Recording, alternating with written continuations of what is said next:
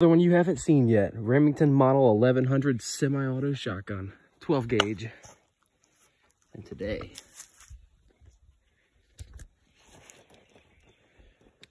we'll be running some of these. Ooh, short slugs. Let's see how she shoots. Bam, bitch.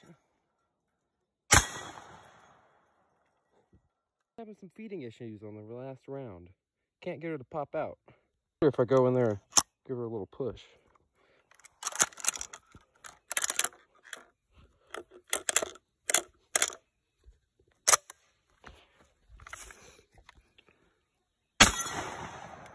Cut that bitch down.